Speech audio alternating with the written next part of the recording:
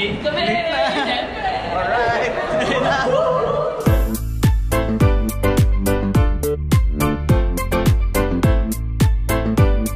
Welcome to Taiwan. Grabe na miss kita. Miss kita. Malag, malag. Dito na kami sa Taiwan. Ayan. Dito kami sa Taiwan. Alright. Kasama ko yung mga cast ng ano tara. Taiwan SMX lang to eh. Sarap. Yung sa information nila may libreng candy kumuha na ako kasi wala pang breakfast tapos um, settle muna kami sa hotel then lunch. Okay, tara. Tayuan eh. Nakabili na kami ng token. Sakto yung airport may ano na, may train station na. Uh, bumili kami ng dalawang token. Yung isa papunta, isa pabalik dito. Okay, finally, nakaraos din. Nandito na tayo sa Bonnie Station. Yan no, ready na yung para sa collab namin ni Alan Ayong. Hintay, hintay yung collab namin ni Alan i-upload sa page niya. So, eto na.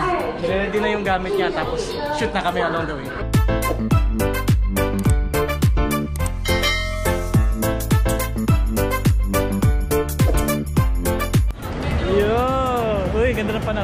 Sarap ng panahon. May sinag lang ng araw pero okay, maaliwalas tsaka hindi mainit. Sabi sa airport kanya 22 degrees. Okay na rin, fairness.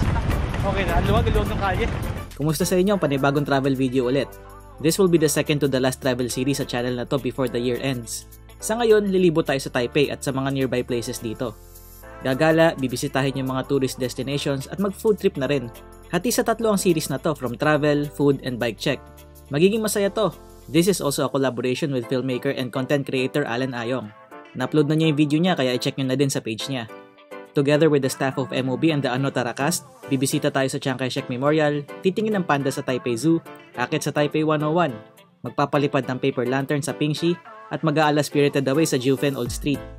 Because of Taipei's conveniently interconnected railways across districts and nearby areas, kumuha na kami ng prepaid MRT card at nag-travel by train most of the time. Itong card na din ang gagamitin ko pagbalik dito sa March for the Taipei Cycle Show. Marami pang mangyayari bukod sa mga nabanggit kaya stay tuned. This is part 1. Simulan na natin. Okay, nakalabas na. Sabi, dahan-dahanin lang daw para mas mas may thrill. Sobrang majestic daw talaga itong lugar na to eh. Check natin, tingnan natin yung history behind this. And tingnan natin kung ano. Uy, ang ganda. Solid.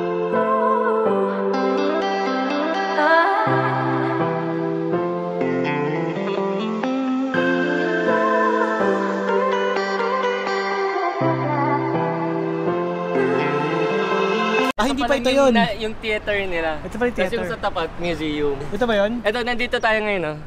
Ito, National Theater pa lang nakikita natin. Ito yung National Hall. Kita nyo yung gano'ng kalaki itong... Based dun sa map, may mas malaki pang temple. Laki na tignan eh. Memorial. Oo nga, ito pa lang ang laki na eh. Ang luwag niya.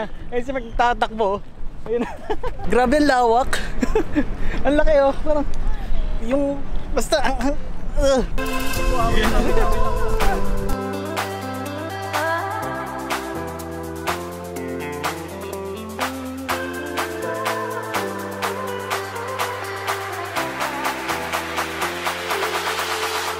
First stop is Chiang Kai-shek Memorial. Isang sikat na monument para kay President Chiang Kai-shek na namatay noong 1975. Sa dulo ng napakalawak na open ground ay ang memorial kung saan makikita ang napakalaking statue niya. Beneath this is a museum dedicated to the life and times of the former president. Tapos, bi, ano, to commemorate, hinarap nila yung statue ni Chiang Kai-shek. Parang to symbolize na palaging nakabantay sa ano, sa China. Parang Ito, this is direction. towards China. This is towards China. Oo. Yan. Dito yung daan. Papunta na tayo sa Taipei Zoo, ah, located sa pinaka-last station ng MRT. Um, nakita ng mga bata nag, ano, sila, nag-field trip sila, mukhang malapit na kami. Um, ang saya makakita ng panda. Yun lang look forward yung makakita ng panda.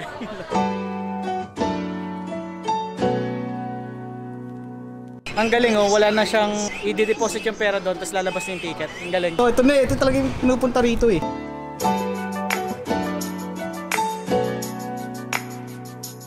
Umutot bigla eh. Lapit lang yun oh. Diretso sa mukha namin. Ay, ang cute! Ay, ang cute. Nagpapakit siya. Nagpapakute. Parang gusto magpapit. Tapos kakagatin mukha mo. Ay, ang Ay, cute. ang cute oh! Parang si Dumbo. Parang siya iganting longganisa. Parang embutido. Yun know, dumadaan tigula pa siya oh. Ang galing.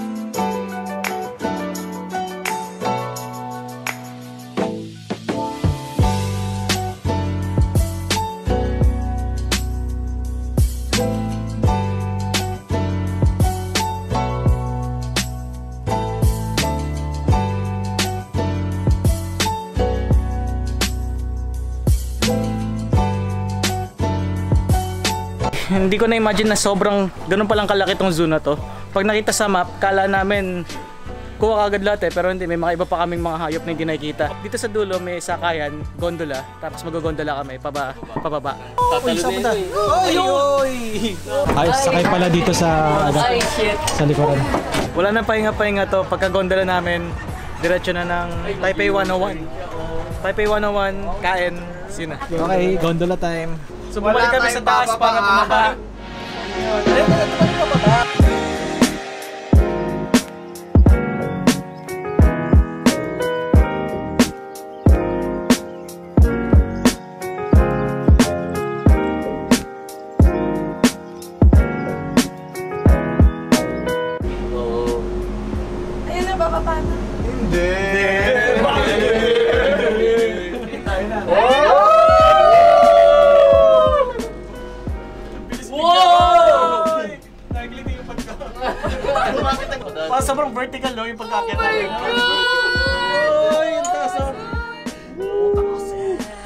Ay, highway yun! Yung highway.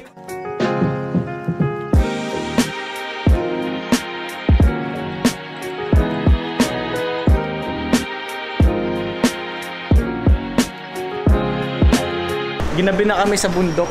Nagano kami round trip kami eh. So, lipat ng cable car tapos baba naman dito sa station. Ngayon naman, Taipei 101. Kasi yan, kasha. Dati kaya grupo dito eh. Ano? Sama pati parents. Pati parents. Pati PTA. Ito na lang ito, ito. Ito, lang. Autonomous head, kumikintab. Bike parking, ito, bike parking, bike parking. Tapos meron yung mga U-bike, yung para itatap mo lang yung cart, tapos pwede mo nang gamitin. Galing. Next time, subukan natin yan. Okay, ito na finally, Taipei 101. Ayan o. Alright! Grabe, nasa loob tayo ng Taipei 101. Legit, this is legit. Pumasok lang kami para mag-CR. Lalabas din kami. Taipei 101, nasa Rockwell tayo. Ah, oo nga pala, Rockwell nga pala.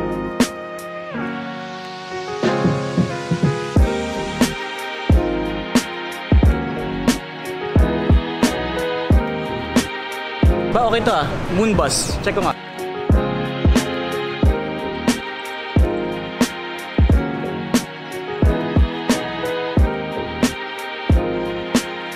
Part pa rin ng Taipei 101 yung sa likuran namin. Tapos may walkway papunta dito. And then itong place na to parang parang high street yung style.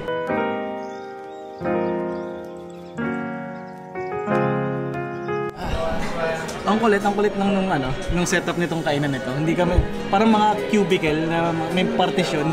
Tapos, ato, bibilugin mo yung mga orders mo. Ang sabi nila, kaya ganito, ang katwiran dito is para mag-focus ka lang dun sa ramen. Walang usap-usap, walang kahit ano. Ang kulit lang, di?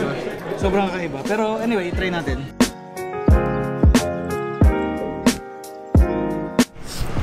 Oh, grabe, sobrang busog. So, order ka, kain, tapos labas.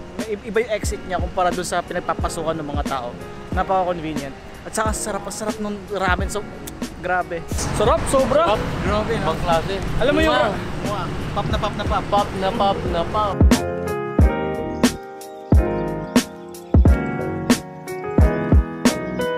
Okay, patunan mo naman pagkain. Lakad papuntang Taipei 101, tapos akit tayo sa taas.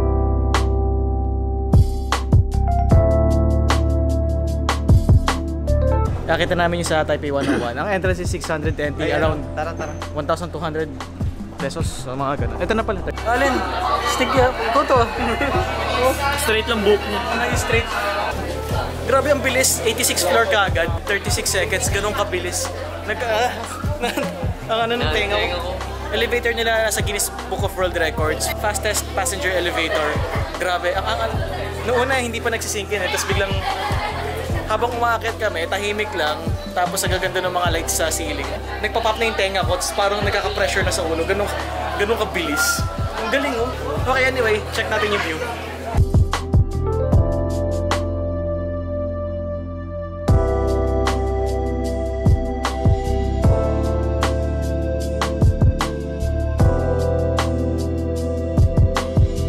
This is Taipei 101. Ito ang world's tallest building from 2004 to 2010. Kaya lang, nabit na to ng mas matataas na buildings kagaya ng Shanghai Tower sa China at Burj Khalifa sa Dubai.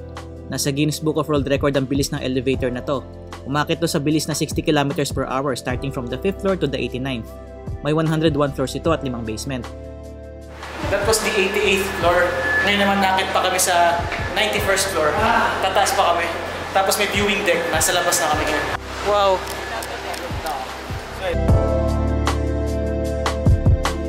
Ito na pala talaga yung pinakataas kasi yung parang stacks and stacks ng mga building. Tapos yung dulo, ito na. Ito na yung pinakatok-tok. Yun, no?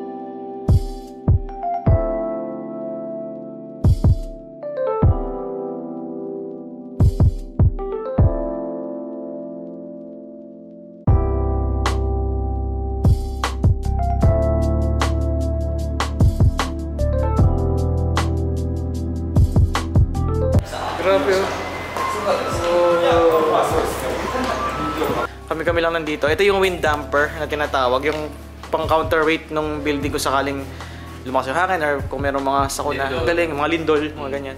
Ito pala yung tsura nun. Yung, Galing oh. yung force ng momentum, imbis na nagsusuwi siya ng ganun, yung bola na yung ah, ano, parang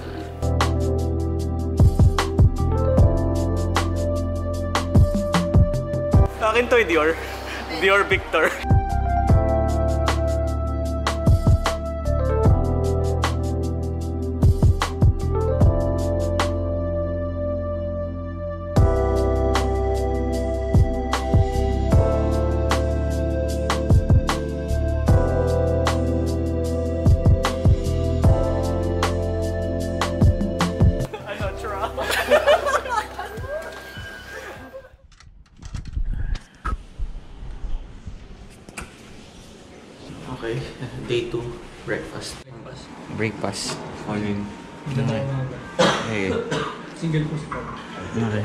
Single.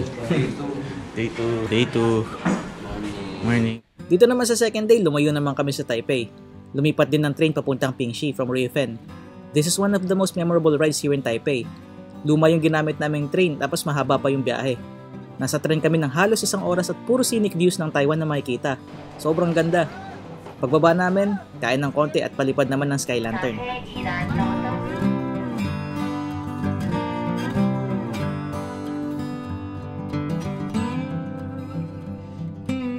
Kailangan namin lumipat ng train, kaya lang 1pm pa. Anong oras pa lang? Time check 12.30. Lipat ng train, ah, tambay kami dito ng mga 30 minutes, tapos yun na, diretso na kami.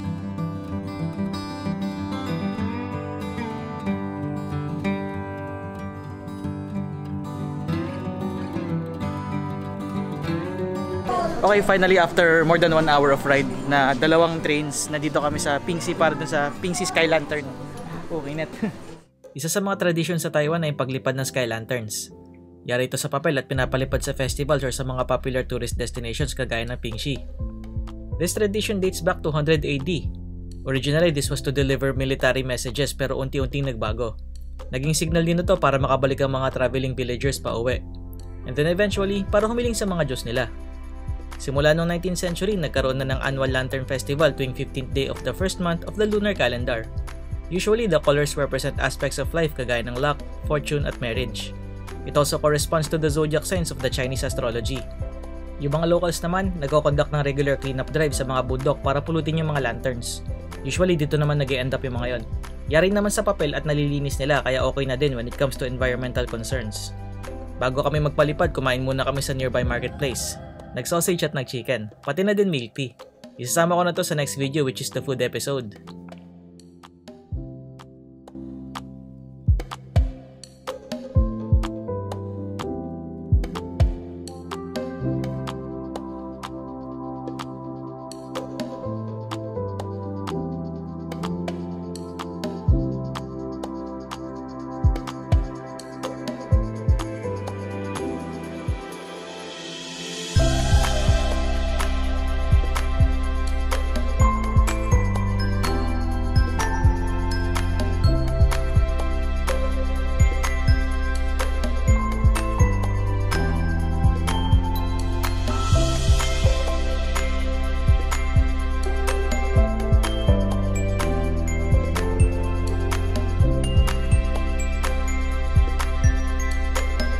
After Pingxi, bumalik na kami sa Ryufen para mag-taxi papuntang Jiufen.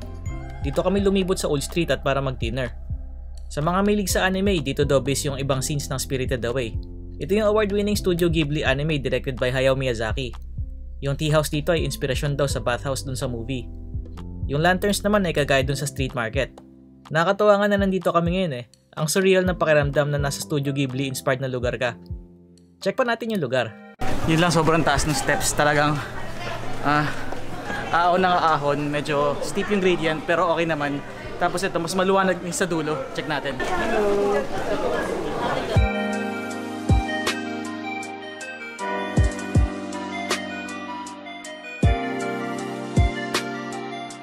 Tapos karamihan ng mga tao dito, mga mga tourists from Japan, mga Hapon. Since ah, yung location sumikat dahil sa anime, ayun, tuwan sila, so pupunta sila rito. Ayun. By groups pa, so ang dami. Kung, kung naalala nyo yung tea house sa, sa anime, ito yun, ayun, nasa likuran ko. Ang galing, nakakatuwa. Sobrang, ano, pinakaunang anime-inspired na lugar na napuntahan ko. Ito yun. Sakto naka, ano ako, suit ko pa yung kay One Punch Man, yung jacket niya. So, talagang, ano,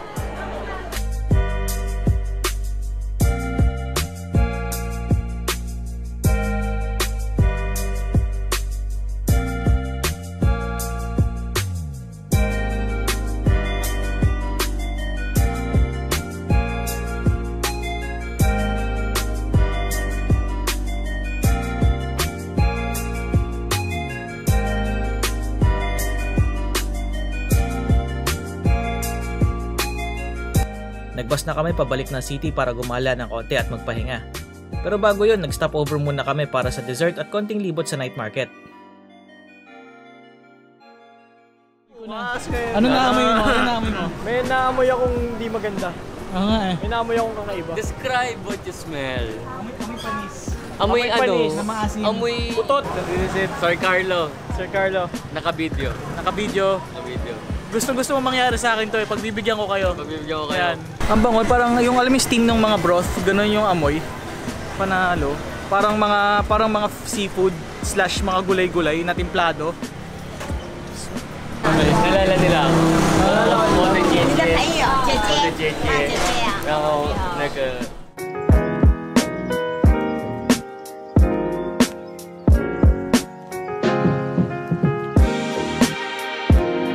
So that's part 1 of our travel to Taipei.